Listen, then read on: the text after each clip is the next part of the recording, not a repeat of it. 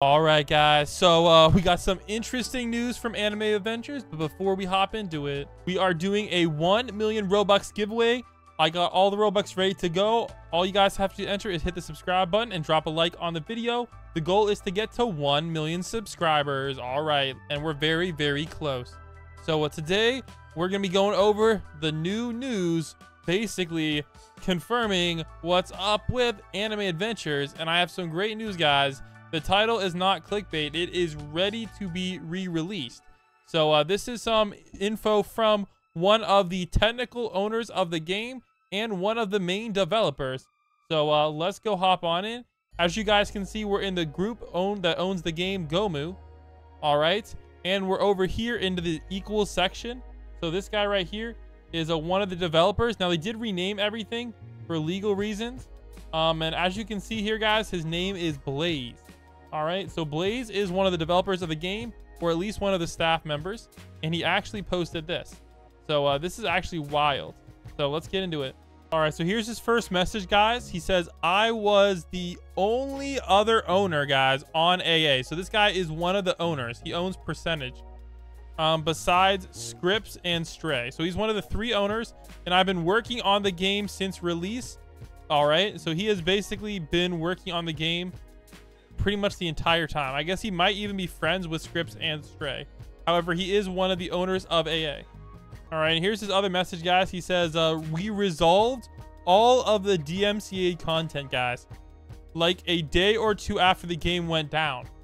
So what this means, guys, is the game is ready to be released. All of the DMCA issues have been resolved.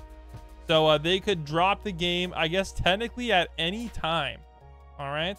And then he also posted this as well. All right, let me get the screenshot. Um, uh, the game not being up right now is Scripps and Stray's choice. It has nothing to do with Game Fam. So uh, basically, if Scripps and Strays decide to release the game, they totally could. The game is 100% ready to go. All right. And then he has um uh, this message right here. Uh, the they got spooked because Rel Bros made a tweet about how official brand partners were coming on to Roblox, and they didn't want to risk any future copyright copyright issues because remember, guys, they could get sued and lose all money plus legal fees.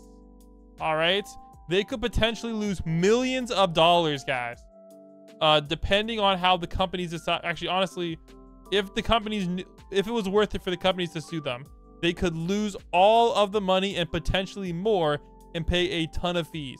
So according to this, guys, the AA developers took down the game themselves.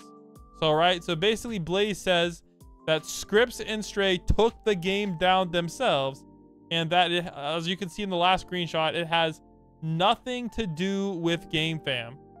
So uh, basically, the owners of the game took the game down themselves. Nothing to do with Game Fam. All right. And um, uh, it looks like the owners have been ghosting um, uh, the other developers for months. So they're uh, they're in Hawaii right now, guys, with their millions.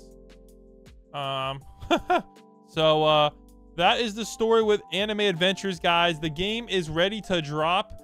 Um, I guess all that has to happen is for the developers to decide to drop it.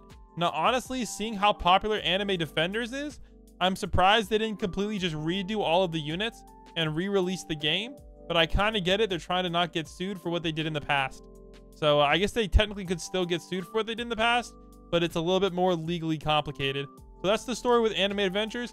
And don't forget, guys, to smash the subscribe button if you guys want to be entered in to win 1 million Robux once we hit 1 million subs. Catch you guys in the next one. Peace.